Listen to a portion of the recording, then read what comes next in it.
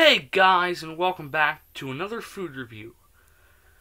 This will be my last food review of 2015. okay, and uh, I hope you've had a very Merry Christmas, Happy Holidays, and uh, my dog is outside the door. But let's go on to the food review. I'm probably going to post a video later tonight wishing everybody a Happy New Year. And I may have a video in the next few days showing off my Christmas gifts. But anyway, I have Nestle. I have Christmas cookies basically. I have the Nestle Toll House pumpkin spice cookies with the white chocolate. And I have Pillsbury sugar cookies. Um, which have been transformed into snickerdoodles. Now this has been requested by my history teacher, Mr. Mell. This one's for you. Okay. So, let's go on with the one I think I'd like the least. Oh, dropped, uh, dropped it. The pumpkin spice. Ignore the... Ignore the back. But this is what it looks like up close. There you go. Let's try it. The video kind of freezed there for a second, and it freezed again.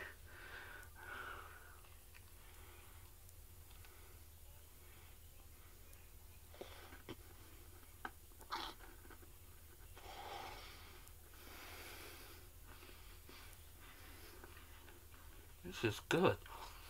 Wow. So you get that um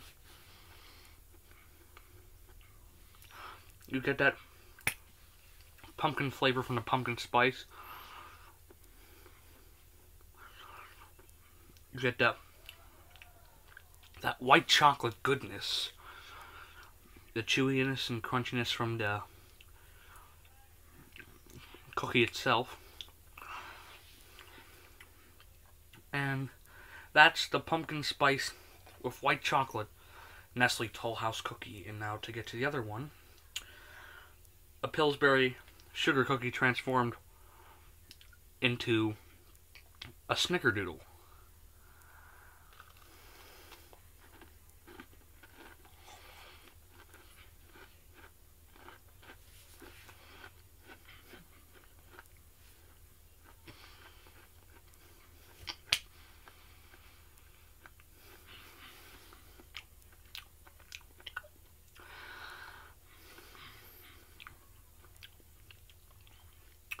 So right away you get that cinnamon flavor.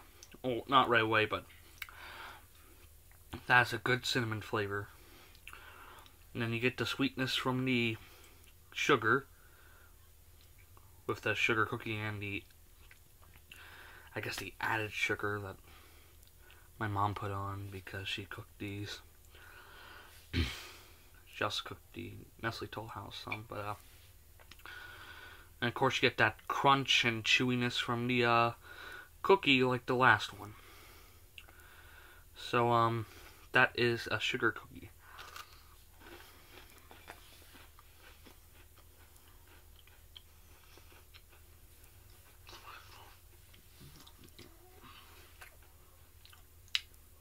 I know I'm late, but, uh, better late than never.